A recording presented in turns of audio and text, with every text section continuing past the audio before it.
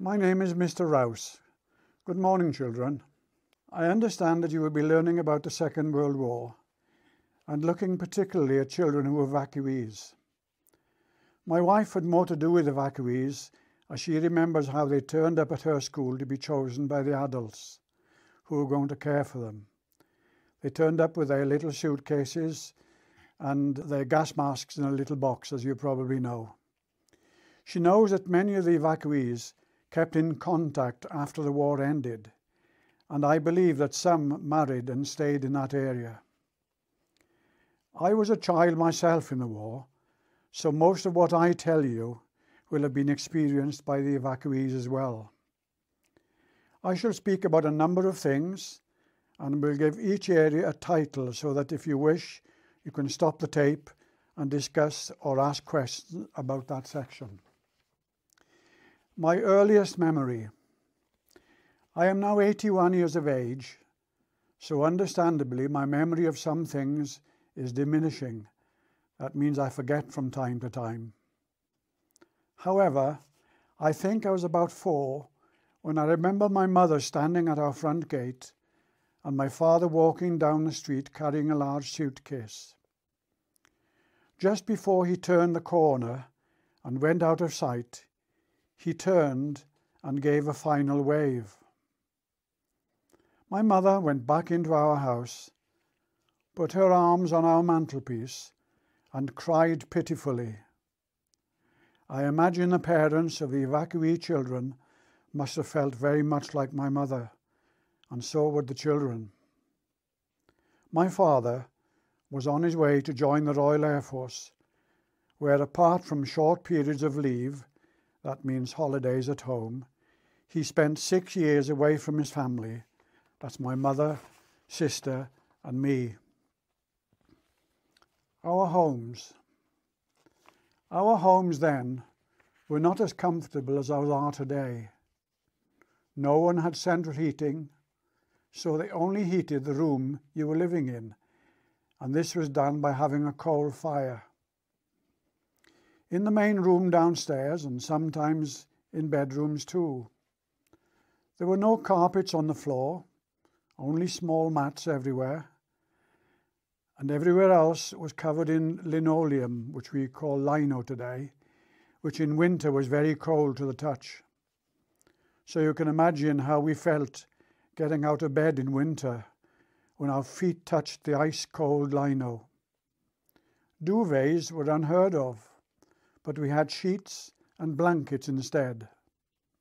Houses had no washing machines, no refrigerators, no Hoovers or Dysons or vacuum cleaners, so most things had to be done by hand.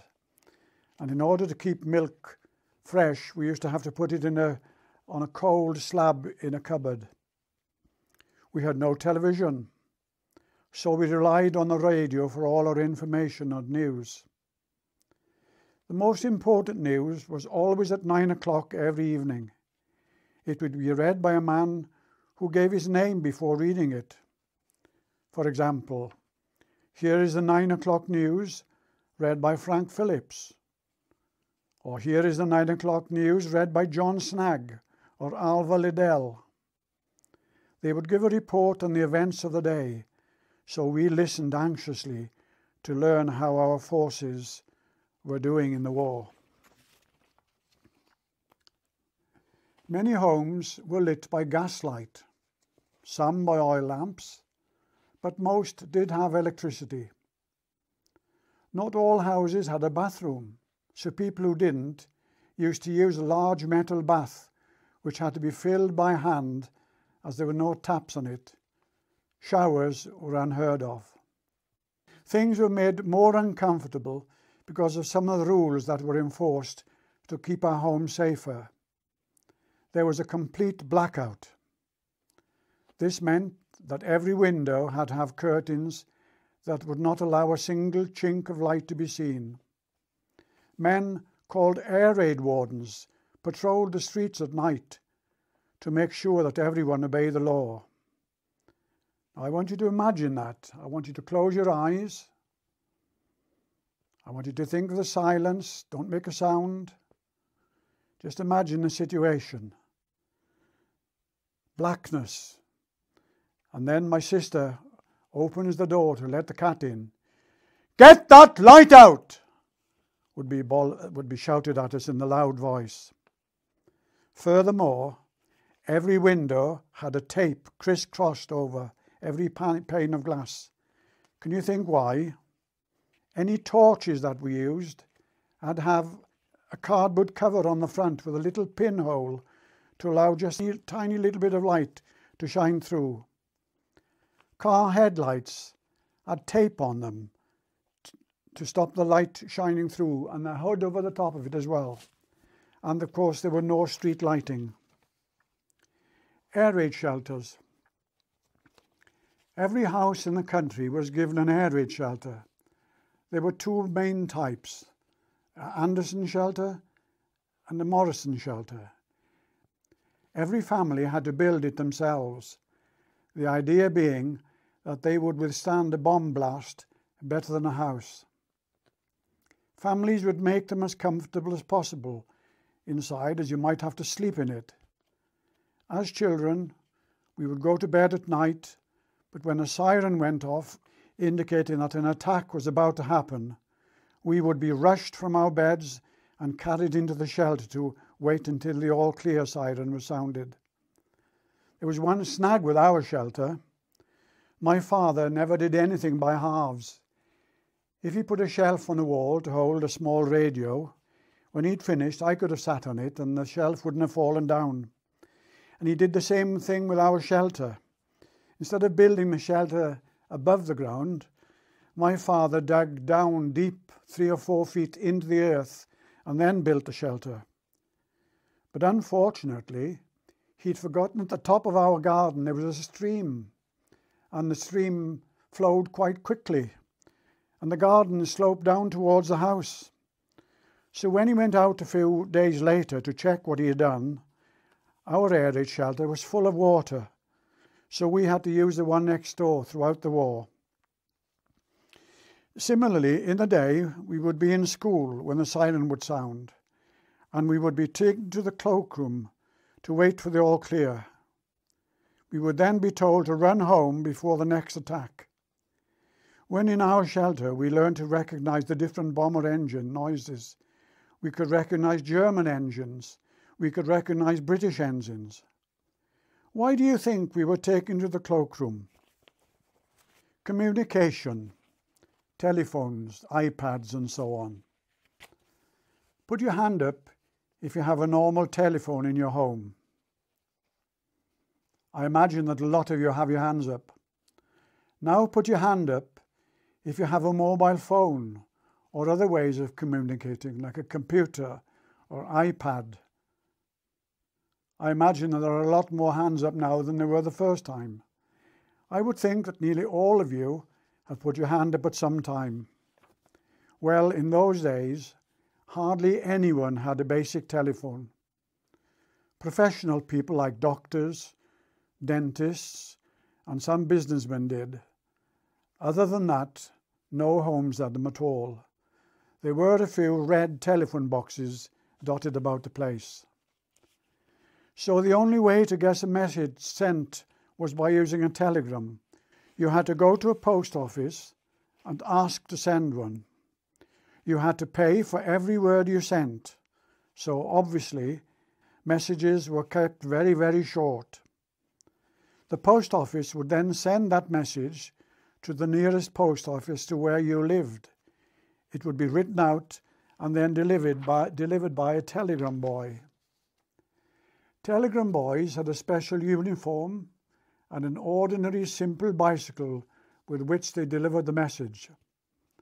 Sometimes the message would be good news. For example, dad was coming home on leave. But very often it could be bad news.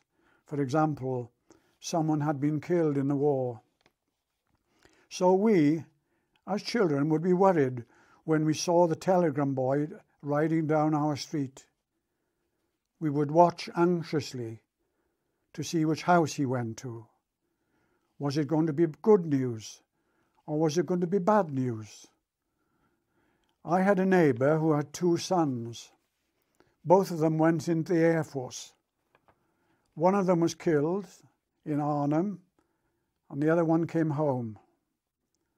Another neighbour of ours had six sons. All of them went to war, and all of them returned. There was an awful lot of luck in what happened in war.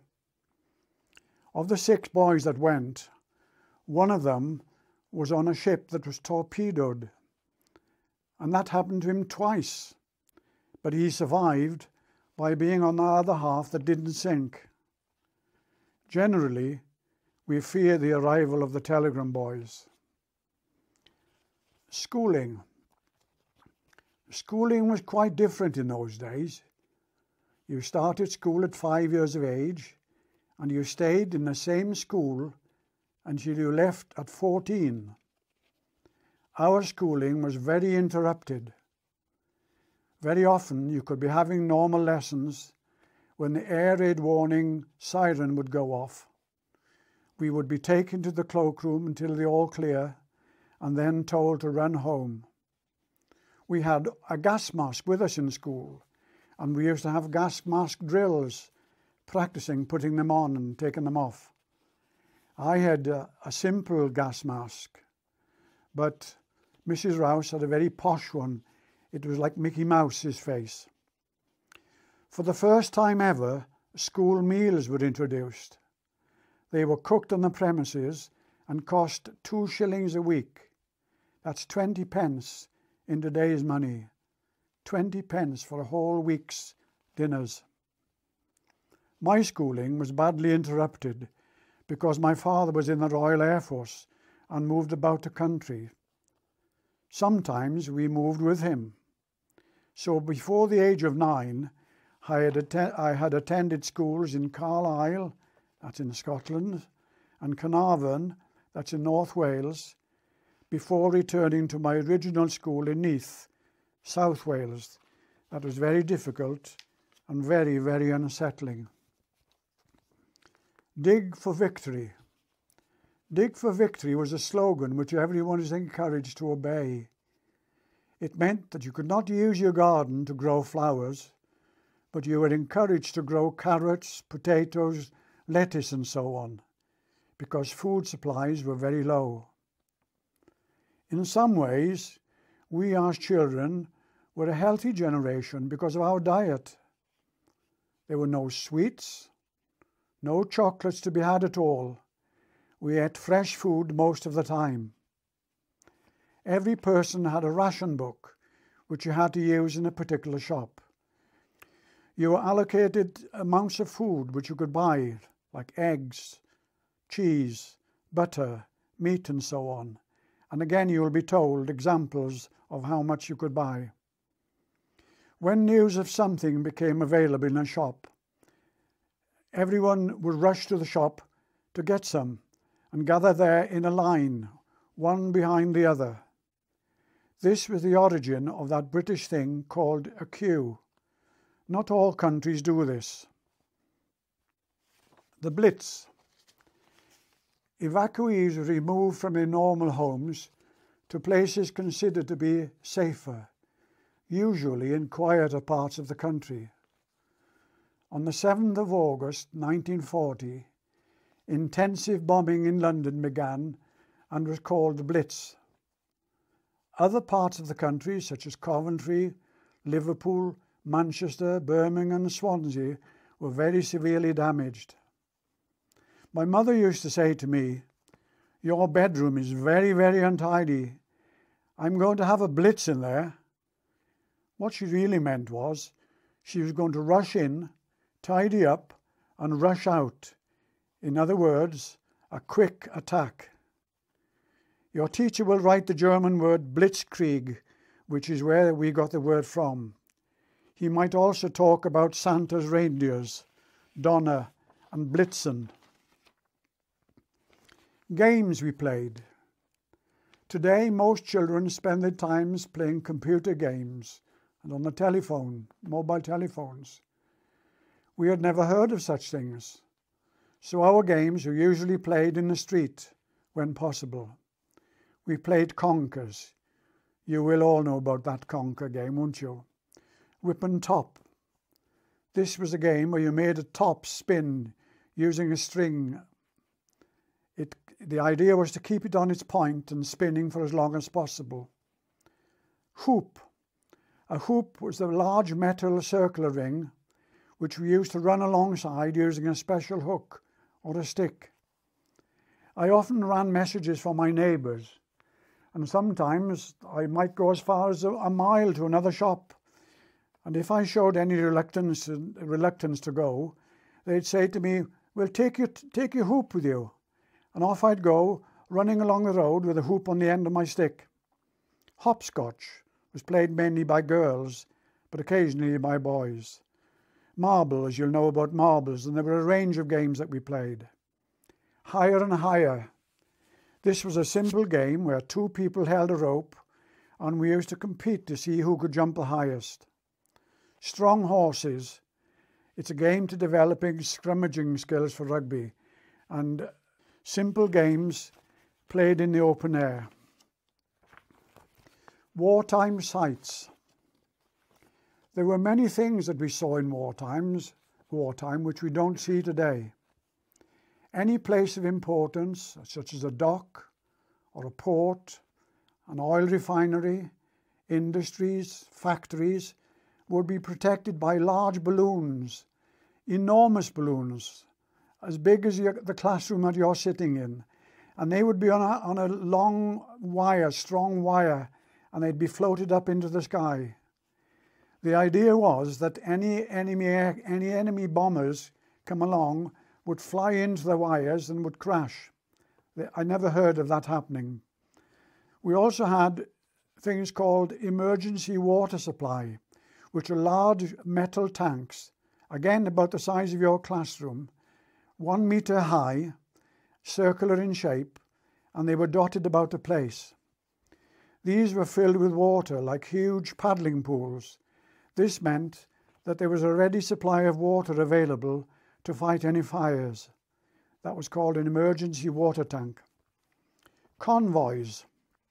Now, a convoy, you can have a convoy of ships, which means lots of ships, usually merchant ships, travelling one behind the other, and they would be supported by warships, destroyers to protect them.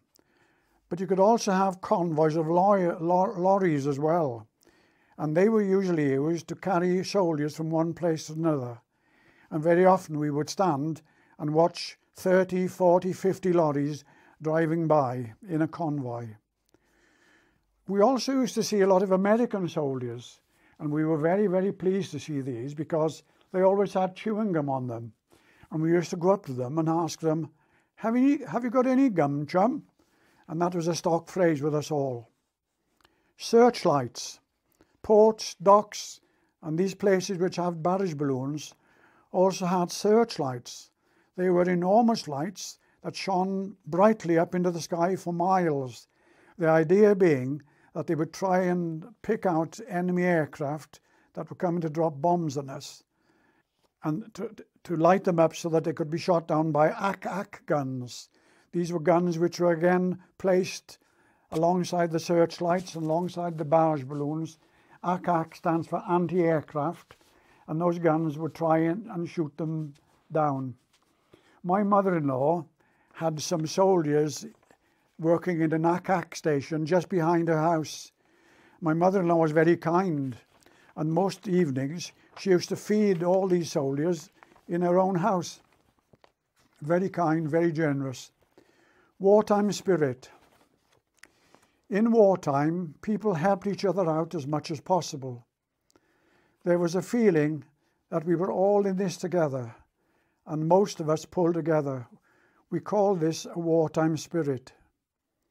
Neighbours would keep a watchful eye if they knew that the man of the house was in the forces. Those who had food would always share it with others. No one went without. Children were looked after by other people at all times.